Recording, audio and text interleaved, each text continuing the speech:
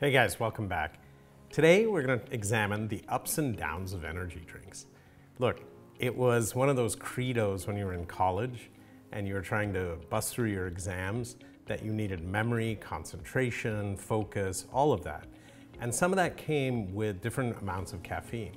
Nowadays, the kids are having energy drinks, which have a combination of caffeine, sugars, and stimulants like guarana, taurine, L-carnitine, and other things.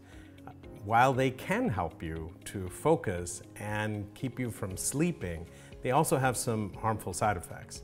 And the idea is to know about all of this stuff before you take this on. So welcome to the channel and let's explore. Hey guys, Dr. Nene here. I practice as a cardiothoracic, vascular, and general surgeon, and I'm now a health tech innovator who wants to improve lifespans and lifestyles.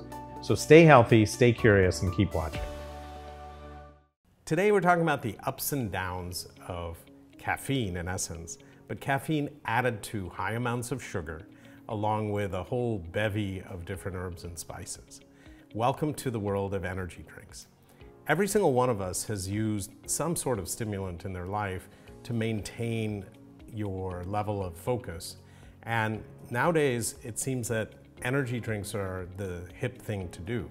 The drinks themselves have high levels of caffeine and can vary anywhere from 80 milligrams to almost 200 milligrams in a single drink. The interesting part is the maximum amount they recommend is 400 milligrams in any given day of caffeine. Now, how does that compare to a cup of coffee? Well, coffee or tea uh, can range from 80 to about 160 milligrams. And so if you're drinking multiple cups of coffee, it's no different.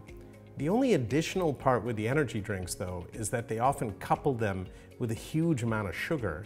And so you get a sugar rush and a caffeine boost. And then in addition, add a few other additives like taurine, essential amino acids, this, that, and the other. So from the onset, they have been shown to improve concentration, um, memory, and when used to keep you awake, they certainly work. Long distance truck drivers, others have used them. The downside though is that with that much caffeine on board, you can precipitate palpitations or irregular heartbeats, as well as increase blood pressure and do other things. Added to that, the amount of sugar that these things contain, and it can be anywhere from nine teaspoons to 17 teaspoons, almost like a regular Coke, uh, can be excessive and can also lead, along with the caffeine, to jitters, sleep disorders, and obviously dental issues, uh, metabolic syndromes, obesity, and diabetes. If you take that out and you say, okay, what about a sugar-free uh, energy drink? Um, that could help potentially, and maybe once in a while, maybe in addition to your repertoire, drinking different types of caffeinated beverages. But the idea is that it doesn't always prove to be the best way to handle things because it gives you these huge ups and downs. And secondly, it's been seen in kids and teenagers in schools drinking these things to keep up with tests, in college students and other things. There may be better ways around it. But let's face the facts, sometimes you do need to stay awake. I think in summary, don't go overboard with these high energy drinks because they do have a negative side to it.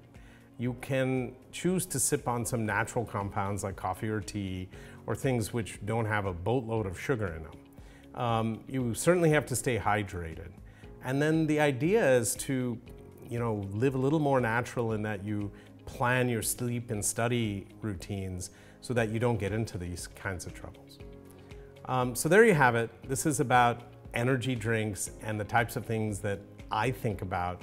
Don't get me wrong, we've all had some type of stimulant, uh, whether it be tea, coffee, or energy drinks in our lives to keep up, just to maintain um, constant flow and work. But at the same time, they come with some bad side effects. I hope this has covered it. If you have any questions, you let me know. Um, as usual, if you like it, hit the like button, share it with your friends, and hit the bell icon.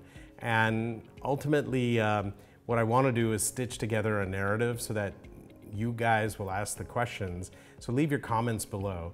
And as always, I'll have the references in my description. So thank you for joining us, and I hope to see you next time.